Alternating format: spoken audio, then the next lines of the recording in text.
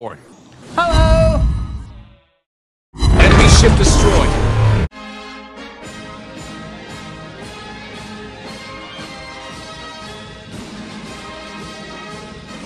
The Graf Zeppelin is a Tier 7 stations. German premium aircraft carrier that for some reason has more guns than it carries planes. It's no wonder that this ship was never actually taught. Use this floating Wiener Schnitzel you need to realize that your main weapon is not your torpedo bombers, but your armor piercing bombs are. You use them to make people with armor look stupid. The Graf Zeppelin has decent HP, and so do its planes. However be aware that you have horrible hangar size due to the insane amount of guns this carrier carries. What were the Germans thinking when they designed this thing?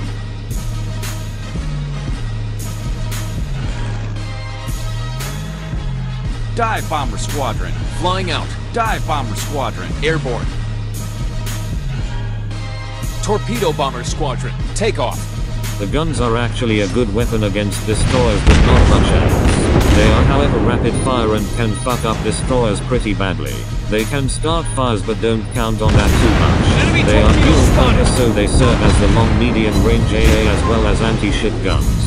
They don't do shit against anything else other than be annoying and cause them to blow you out of the water. Just the like the. Soviet target practice on this thing in real life.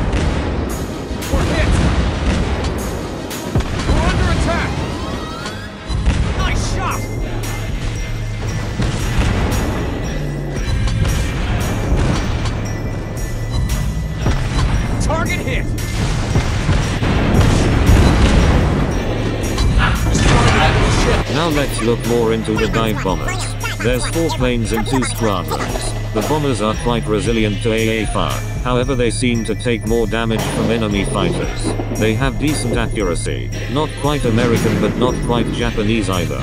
Their AP bombs can incoming! penetrate anything except destroyers. The Attack bombs target! penetrate enemy carriers the best, then battleships, then cruisers.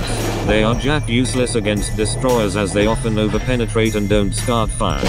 The torpedo bombers are more of a secondary weapon than anything. But used correctly they are a force to be reckoned with. They have a shit spread, and you usually miss the first or last torpedo. They are not good against destroyers, as the gaps between the torpedoes are big. They are however great against long battleships, like Nissan or Hood. They also will hit all CVs at tier 7.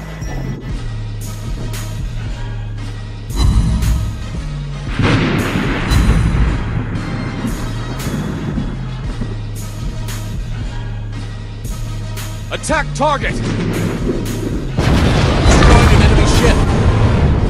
The ground service on this carrier is decent. Again not quite USN but not as good as Japanese CVs. The best part about this though is that with so many self-defense guns you don't even need to use planes against a destroyer that sneaks up on you.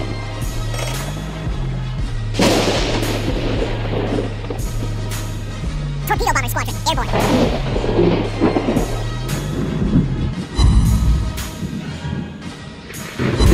Target penetrated. Now we come to the fighters. While they have the most in one squad, 6, they are actually quite shitty without AA support in dogfights. They are great bomber chasers as they are fast and there's lots of them. They get shot down quite easily by ship AA. Enemy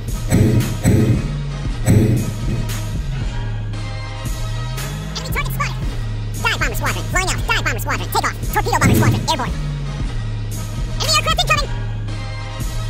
Enemy aircraft incoming.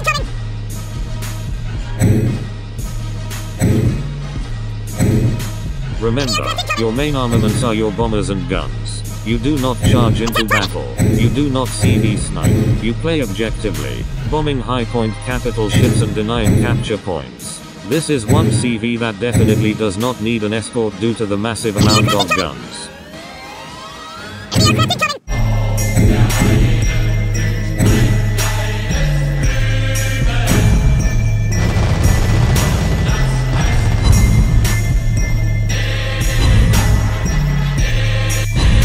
Aircraft incoming.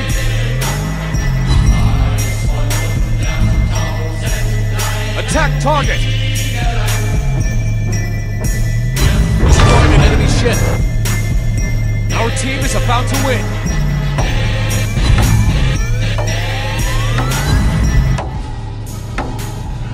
Attack target!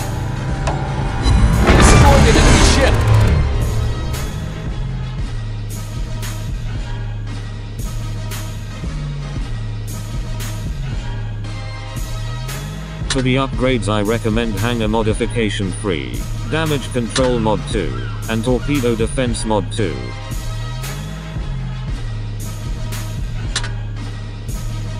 For the commander or captain you take aerobatic maneuver, torpedo alert or battlefield support, high alert in case of CV sniper, victorious charge and survivalist, recon or generalist, dogfight specialist, then take extinguisher and demolishing expert, compartment maintenance and finally dauntless dive and either giant hunter if you prefer torpedoes or citadel strike.